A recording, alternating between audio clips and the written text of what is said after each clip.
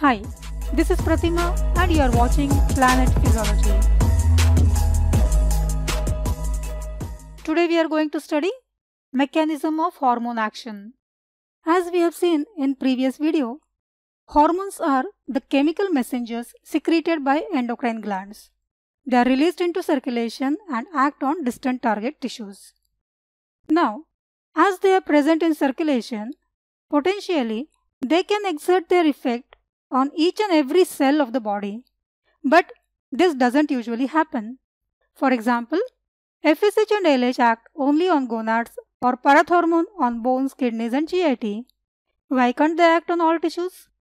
This is because, being chemicals, hormones have specific receptors to bind and obviously the tissues that possess the receptors will respond to the hormones. So hormones always exert their actions through receptors and the type of receptors will decide the action of the hormone. So let's study about the hormone receptors first. Receptors are protein in nature and are highly specific to the specific hormone. These are dynamic in nature, that is, their number in the target tissue is not fixed. Receptors show either upregulation or downregulation. Increase in number of receptors in response to hormone is called as upregulation while decrease in number is called as downregulation. Their location in the cell membrane depends on the chemical nature of the hormone to which they respond. Receptors for hydrophilic hormones like proteins and peptide hormones as well as for catecholamines are located in the cell membrane. These membrane receptors are usually G protein coupled receptors. That is, they are attached to the G protein. G protein has three subunits alpha, beta and gamma. Alpha subunit has binding site for GDP or GTP and also has intrinsic GTPase activity. So alpha subunit acts as transducer. There are three subtypes of alpha subunits. Alpha S, S stands for stimulatory, alpha I, I for inhibitory and alpha Q. Activation of alpha S stimulates the enzyme adenylyl cyclase while activation of alpha I inhibits the enzyme adenylyl cyclase. Alpha Q activates membrane-bound phospholipases like phospholipase C. Details we shall study later in the video. Receptors for lipid-soluble hormones like steroid hormones are located within the cytoplasm and are called as cytoplasmic receptors, while receptors for thyroid hormones are located within the nucleus of the target tissue and called as nuclear receptors. Binding of hormone to its receptor forms hormone receptor complex. This complex brings about changes in the activity of target cell through various mechanisms. Target cells may show changes in the membrane permeability or activation or inhibition of G proteins, intracellular enzymes or specific genes. Let's study this mechanism in detail starting with protein hormones. So as we have just seen, being a large hydrophilic molecules, protein or peptide hormones act through membrane receptors. Once they form hormone receptor complex, they activate another molecules either in the cell membrane or within the cytoplasm which trigger the cellular response. These intracellular messengers are called as second messengers. So hormone is referred as first messenger and the intracellular trigger is called as second messenger. So second messengers are intracellular signaling molecules released by the cell in response to extracellular signaling molecule that is the first messenger or hormone. They trigger the target cell response to the hormone. An important feature of this system is that second messengers are usually coupled downstream to multiple cyclic kinase cascades which greatly amplify the strength of the original hormonal signals. They distribute the signal to the appropriate target within the cell and help in feedback regulation of the cellular response as well. Examples of second messenger include cyclic AMP, cyclic GMP, calcium ions, inositol triphosphate and all these are hydrophilic cytoplasmic second messenger. Then diacylglycerol is hydrophobic second messenger. Nitric oxide, carbon monoxide fall in the category of gases. Just an additional information here. Second messengers were discovered by Earl Sutherland Jr. for which he won 1971 Nobel Prize in Physiology or Medicine. He found that epinephrine alone cannot initiate glycogenolysis in hepatocytes, but it must trigger cyclic AMP to exert this action. Later, the detailed mechanism of this process was worked out by Martin Rodbell and Alfred Gilman, who also won 1994 Nobel Prize for the same. Okay, let's study the mechanism of action of second messenger system in detail, starting with cyclic AMP as second messenger. First understand this diagram.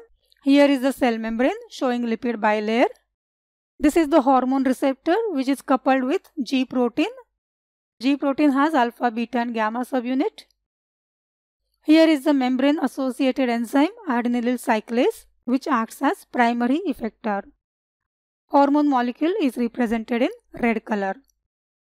Binding of hormone with its receptor causes formation of hormone receptor complex and activates G protein where GDP on the alpha subunit is replaced by GTP.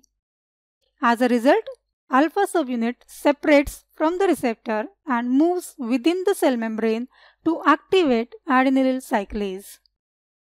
Activated adenylyl cyclase converts ATP in the cytoplasm to cyclic AMP, which in turn activates protein kinase.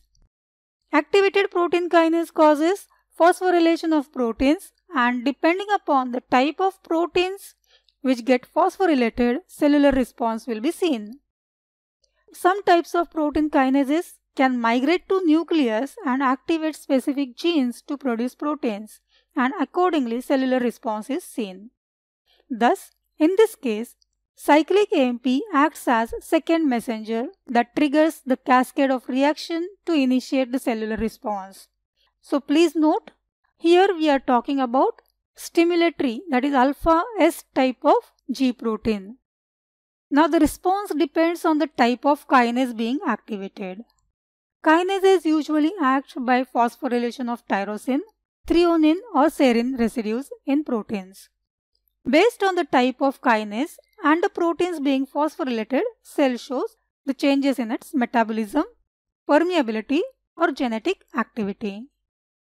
Till now, more than 300 kinases have been identified. Cyclic AMP may activate phosphatase, which in turn leads to dephosphorylation of the protein. So, cellular signaling pathways that regulate the process of phosphorylation and dephosphorylation of protein is called as phosphate timer. The action of cyclic AMP in the cell is terminated by degradation of cyclic AMP to 5-AMP by the enzyme phosphodiesterase. Signaling cascade can be terminated by activation of specific phosphatases leading to dephosphorylation of the proteins. Many hormones act through cyclic AMP second messenger system which include GnRH, CRH that is corticotropin releasing hormone, FSH, LH, ACTH, ADH and glucagon. Now in the same way, if the hormone receptor complex stimulates inhibitory alpha unit that is alpha I unit of G protein coupled receptor, adenylyl cyclase is inhibited and the formation of cyclic AMP is reduced. The hormones which act by inhibiting cyclic AMP formation include action of norepinephrine via alpha 2 receptors as well as action of somatostatin. Now coming to cyclic GMP as second messenger, the process is exactly same as that of cyclic AMP, only instead of adenylyl cyclase, here the enzyme is guanylyl cyclase which causes formation of cyclic GMP leading to activation of protein kinase or phosphatase. Hormones like atrial natriuretic peptide and nitric oxide act through cyclic GMP second messenger. The toxin released by bacteria E. coli also act via cyclic GMP second messenger system. The next important second messenger system is membrane phospholipids. In this case, G protein has alpha Q subunit and hence hormone receptor complex activates the enzyme phospholipase C. Phospholipase C is attached to the alpha subunit and causes hydrolysis of the membrane phospholipid phosphoinositol diphosphate that is PIP2. The product being formed are diacylglycerol and inositol triphosphate which are also abbreviated as DAG and IP3. IP3 acts on endoplasmic reticulum to release its calcium ions and thus elevates intracellular calcium concentration. Calcium ions in turn bind with calcium binding proteins like calmodulin to exert its action. It may activate calcium calmodulin dependent kinases to exert the action. DAG activates protein kinase C leading to phosphorylation of proteins which mediate cellular response. Hormones like ADH, noradrenaline and angiotensin II act via phospholipid second messenger system. Some hormones like TRH cause activation of phospholipase A2 which converts membrane phospholipids into arachidonic acid which is then converted to prostaglandin, prostacyclin, thromboxane or leukotrienes. These products then mediate the cellular response. So membrane phospholipids second messenger system either will act via DAG, IP3 or arachidonic acid. Okay. Till now we have seen that hormone receptor complex acts through G protein. But some peptide hormones do not require G protein for signal transduction. In such cases, hormone receptors themselves have intrinsic tyrosine kinase activity. Formation of hormone receptor complex leads to autophosphorylation of tyrosine residues within the receptors as well as cytoplasmic proteins, which in turn leads to phosphorylation of proteins.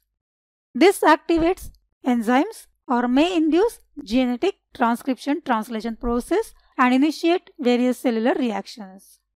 Hormones acting via this mode are insulin, insulin-like growth factor 1, insulin-like growth factor 2 and other growth factors like platelet-derived growth factor, endothelial growth factor and monocyte colony stimulating factor.